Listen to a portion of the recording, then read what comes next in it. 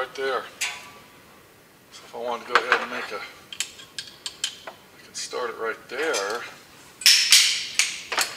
And line this up.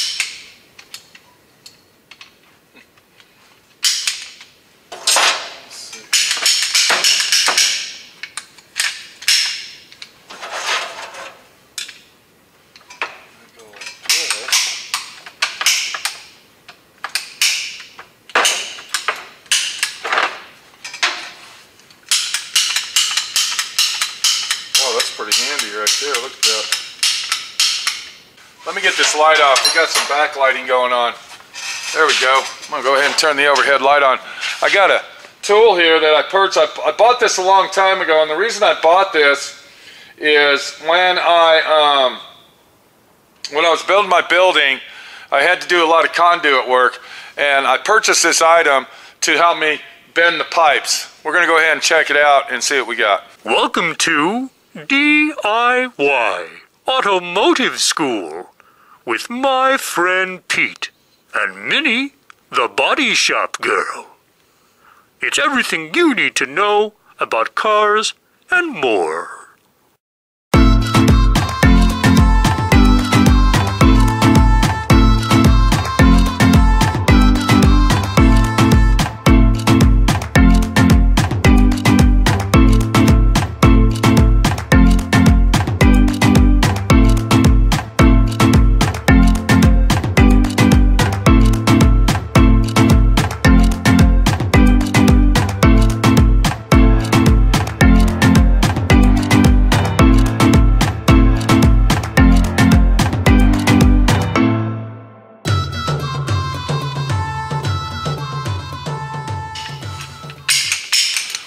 What we're looking at here, we are looking at a tube bender.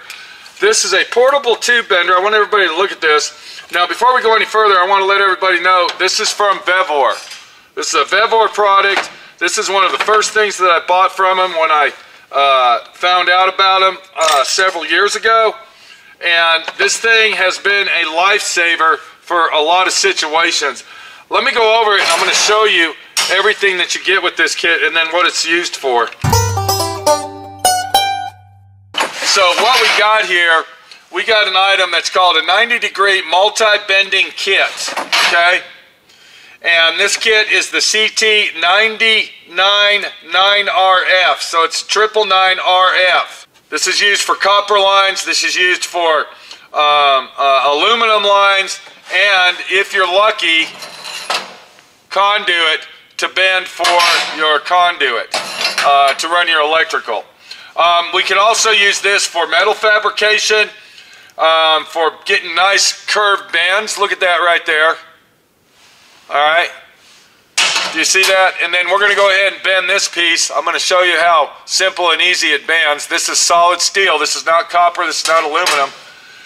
But this is made for getting contour bends in round stock, whether it is uh, aluminum piping, copper piping, or possibly um, small metal, or like I was saying earlier, brake lines, fuel lines, to get that accurate bend that you need. So now that we know what we got here, let's go ahead and open it up.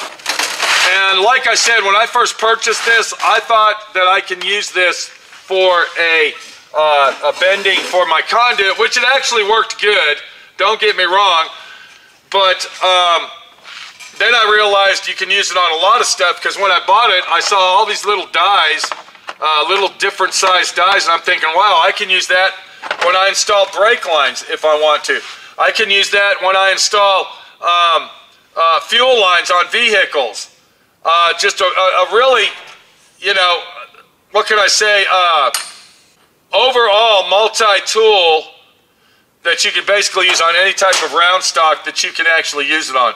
So of course the first thing we got is our ratcheting handheld wrench.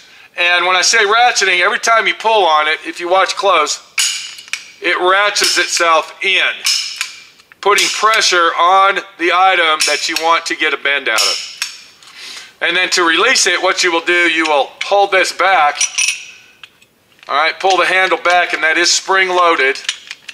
So you're gonna pull the handle back, and then it will drop into place. So the tool that we got here, it's a push or pull action. That means that you can either push it in or you can pull it back. And I'm gonna show you what we're talking about here. So we're gonna go ahead and take this adapter here. We're gonna go ahead and set it on the front, just like that. And once again, this is for bending round stock. And it really, really works good. Whether you're doing a brake job, a fuel line job, you might be working on an air conditioning unit or possibly a refrigerator um, you might be putting conduit into your building to run electrical. Uh, now, I will say that it will work on conduit, and I'm going to show you that. This is steel conduit, but it's mainly made for aluminum and copper. Um, but it will bend half inch, all right? It won't bend anything bigger than half inch, but if you're doing a conduit job and you're installing electrical, it does work with the half inch conduit, and I'm going to show you that in a minute. So you got this, uh, this adapter that goes here, and then you're going to take this adapter, and then this one is going to go right here, just like that. And once again, this is from a company called Vevor. You can see the name right there, Vevor. So we got our tool in our hand. The next thing we're going to do is we are going to find the die that we want for the diameter of steel. So we're going to take our, let's pretend this is a brake line. And we're going to go through our, that looks like that fits in there really well. I like that, but it's a little bit tight. We're going to go up to the next one, and this one's perfect. Look at that. So the way that we got our machine set up right now, we're going to go ahead and take our die, and we're going to stick it in here, and it will push in there just like a socket, just like that. And then we're going to go ahead and get one of these actions right here, and we're going to line this up with the size diameter pipe or tubing or metal stock that we're going to use and it looks like it's this one right here. Let's see. There it is right there. So then this one here is going to go upside down just like this and then it's going to screw to the bottom of this adapter right here so now once we have our adapters installed and we got our tool in action we're going to go ahead and turn our heads to the correct position that fits our tubing in here, which is this size right here. And then before we start, we're going to go ahead and start ratcheting that so we can get it started. And then we'll go ahead and stick our tubing in here just like this, making sure that everything's lined up. And then once that's done, we can go ahead and start making our bend. Now I want to show you, this is solid stock here. So you can imagine if you're working on with copper or possibly aluminum tubing, how easy it'll be. Now watch close. I'm not giving it a lot of pressure and I'm getting a nice bend out of it. Look at that. And you can see how far it bends. It's still going. That's it right there. If we want to go any further, what we would do is we'll go ahead and release this handle right here just like that. And then we're going to go ahead and continue to make our bend. So now we got it, we're, we're reading our roadmap to what we're trying to do with our line to fit it into where we're going. So then all we got to do, and you can see how precise that is. Look, it, it, it's very precise. Look at that. So if we only need a small bend in it, just like that, we're pretty much done. Release our handle, and then we're going to find our next bend that we need to make on it. And we're going to go right here. Let's just say this is our roadmap for our fuel line or possibly our air conditioning line. And we're going to get it to where we need it. And then we'll do our other bend. Just like that. Then we'll go ahead and release it again.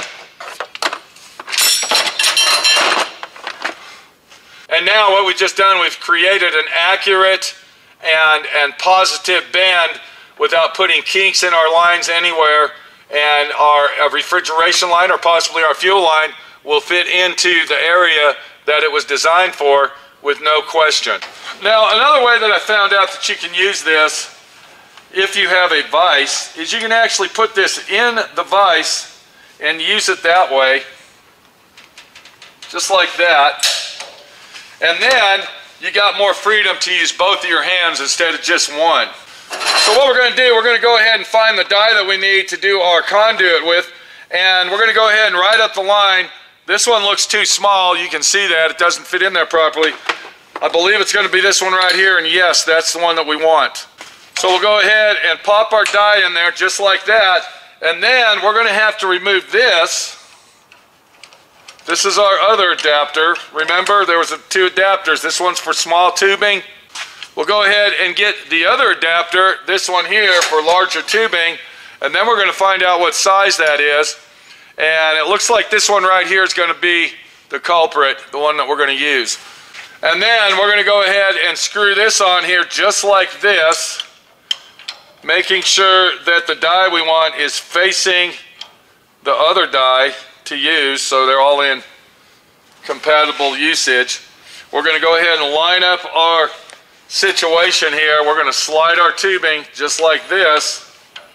And now, being in the vise, I'm going to have more access to actually use it. You see what's going on? Actually having it in the vise for this big stuff makes it a lot easier. Now this is what I bought it for right here, is to bend um, conduit when I put my building up.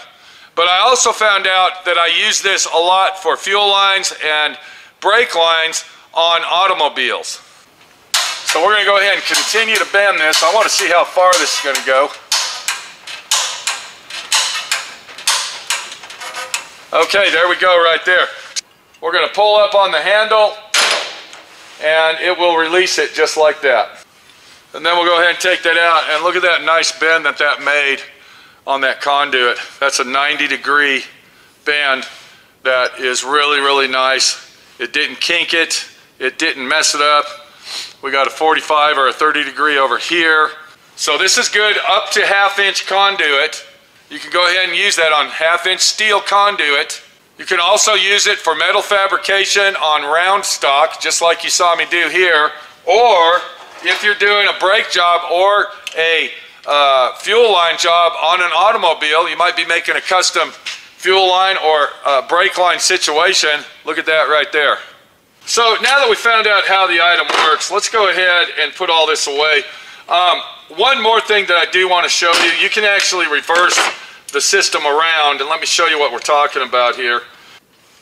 So what we got here, we got our dies flipped around and then what we can do, let me go ahead and get this up here. Then what we can do is we can do a reverse bend just like this.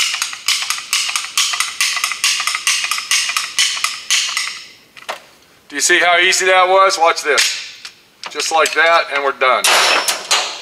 And I got me a nice, perfect 90 degree bend right there in our brake line that I need to install on the car. So it's a double whammy situation. Um, you saw how easy that is. We're going to take our die, we're going to put it away right here. I'm going to go ahead and do that. I just pulled that handle out, went down. I'm going to lock it in place right here, just like that. We're going to go ahead and take this off. This is actually a very extremely handy tool for um, round stock bending. A lot more than just refrigerant, people. So what's my opinion on the 90 degree multi-bending toolkit? I'm going to be honest with you, this thing's well worth the money. It's an awesome situation. Um, like I said, I use it for fuel lines and brake lines on automobiles, and you can see how accurate it is.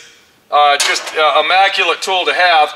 But if you are a refrigeration guy, possibly, you do AC and heat, or you're doing electrical, okay, and you need to get that real precise bend in the tubing that you're working with, this is the kit to have. This is Pete, my friend Pete, your friend Pete, looking at Vevor Tools and saying, this is an awesome place to shop. One more thing about this, uh, I ordered it and had it here within 48 hours.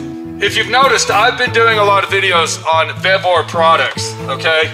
And the reason that is, is because Vevor, I believe in Vevor. Vevor is a top-notch company, um, very reliable, easy to work with, and very honest people. If you're looking for something out of the ordinary, that you can't find anywhere else, I suggest that you get on Vevor's site and check it out because I guarantee you they're going to have it all the way from um, home, home, garden to industrial, commercial. They have it. This says high quality refrigeration tools, but it's for a lot more got it than that. Take it easy. I hope this helped you out. Go into the description for there's a code in there that you're going to be able to get a discount on this. Um, I emailed them and told them I was going to make a video of this product, and they said if you're going to do that, can you put this discount code in? And then in the description, we'll show you how to get to this item where you can order it and have it in your tool arsenal for later use that you might want to say, I'm building a hot rod car and my friend Pete showed me the right tool to use to do it with. Take it easy.